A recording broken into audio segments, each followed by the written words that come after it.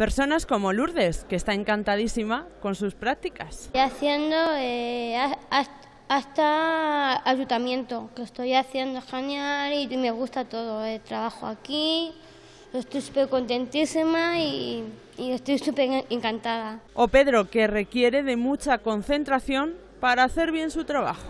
Pero estamos concentrados, pero cuando estamos concentrados hay que callarnos, para que no me confunda de papeles.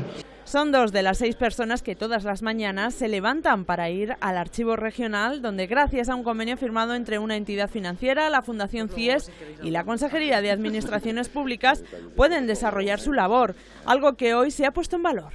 Yo creo que esto pone muy a las claras que se pueden hacer reformas en la Administración, que se pueden hacer muchas cosas en la Administración con un doble criterio, el criterio integrador, el criterio de garantizar unas condiciones de vida exactamente iguales que las de cualquiera para personas que tienen algún tipo de, alguna capacidad distinta, pero sobre todo también que se puede hacer, y ahí lo han visto ustedes, con criterios de eficacia y de eficiencia altísimos, porque el trabajo que se está llevando a cabo es un trabajo encomiable. Esteban, que ha anunciado además que probablemente cinco personas más se beneficiarán de este programa para llevar a cabo labores de digitalización y conservación de documentos.